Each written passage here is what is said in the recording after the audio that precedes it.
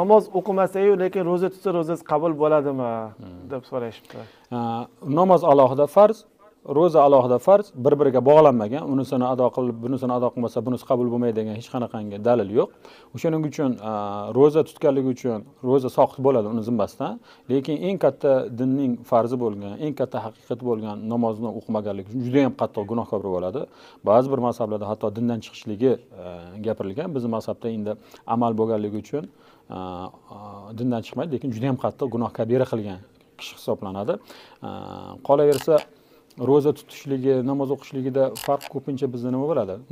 Ro'zaga uncha namozga uncha bo'yin egilmaydi nafs qo'ymaydida ro'zaga bo'lishligiga ikkita omil sabab bo'ladi. Bittasi o'sha niyat buzilgan. Sog'lom bo'laman sog'lig'imga ham foydasi degan ro'zadan ro'za niyati buziladi. Ikkinchisi ishxonada yoki atrofimdagilar tutyapti ularni oldida xunuk bo'ladi degan masaladan kelib chiqib turib ko'proq ro'za tutiladida. O'shaning uchun demak albatta namoz o'qisa insonni hamma niyatlari ishlari to'g'ri bo'ladi jumladan ro'zasi ham to'g'ri bo'ladi. Ammo hali aytganimizdek ro'zasi soqit bo'ladi ro'zani farzi soqit bo'ladi ro'za tutganligi uchun. Namoz o'qimaganligi uchun ro'zasi qabul bo'lmaydi degan qavl yo'q.